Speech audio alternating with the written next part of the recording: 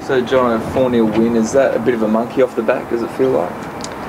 Oh, to a degree. I mean, there's been a lot of talk about uh, uh, pressures and things like that, but as a playing group, we haven't really felt pressure. We've just been a bit frustrated, really. I mean, we've, we've been playing okay in patches and, and really well in other times, and just not getting results, and, and the ball will fall our way.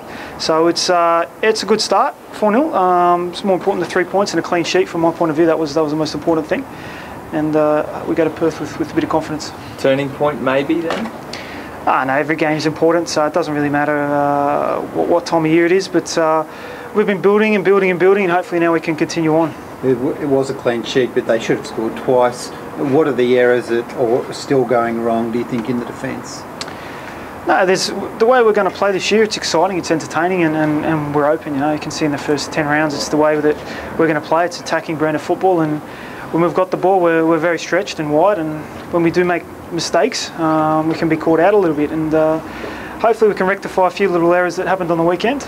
But um, that's going to happen in our games. It's going to be entertaining, and uh, hopefully we can score more goals in the opposition. That's what the coach wants to do, and he prefers to uh, to kind of win five four than, one 0 So that's uh, that's uh, what he wants to implement, and that's what we're going to try and do. On the coach journey, it seemed pretty emotional after. The players seemed like they really wanted to win for, for the coach. Is that uh, was that spoken about, or is it just something that happened naturally? Oh, it happened naturally. You know, I mean, he's a he's a great person first and foremost, and, and, a, and a fantastic coach. And you've got someone around you that really protects you, and you feel like you want to play for him. It's uh, it's the ultimate uh, combination, really. So, I mean, you could see from the first guy on the weekend went to him because uh, we all know how much he means to us at the moment, how much uh, he's important to the club, and the fans respect him. So uh, it was a nice moment. Realistically, I mean, being haven't registered a win since round one. Uh, the coach was all, all happy to say that the, the game was developing and so forth. Realistically, how much did you need the win? Oh, we need to win. We need to win every week, really. Um, like I said, it wasn't really the pressure that people have been talking about. It's just the frustration. Um, so uh, it doesn't stop stop here. You know, we, have we've, we've got that little monkey off our back, so to speak. So uh, we need to go on with it and continue a little run of form over the Christmas period and then building up into into the new year. What's more important, mate, winning or the style? Do you think? It's a difficult one. It's uh, obviously you want to play a certain way, but human nature and our in our game you want to win as well.